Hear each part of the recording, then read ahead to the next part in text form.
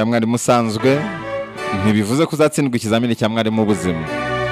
Cyane ko iki kizamini cya mwarimu usanzwe ari isuzuma ry'uko wibuka ibyo yakwigishije ntabwo ari cyo gipimo cy'ubwenge.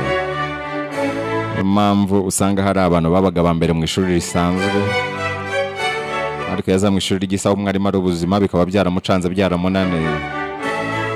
Usanga abandi babaga ba nyuma abandi baracikiriza.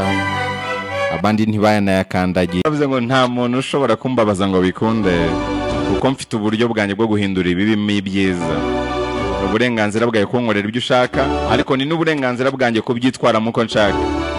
Buri kibi cyose unkoreye nyihinduramo icyiza yaranavuze ngo umva cyane kuruta uko uvuga kubera ko uko uvuga cyane ni kuba wiyongerera ibyago byo kuvuga nabi. Aranavuga ngo ni ikigwari uriya utinya ibitarabaho nta muntu ushobora kuza mu buzima bwawe rero ngo buri kintu agusigira. Iyo atagusigiye isomo agusigira urwibutso cyangwa akagukuraho isomo cyangwa akakwigisha nawe ubwe bamwe baza baje kwiga abandi bakaza baje kwigisha.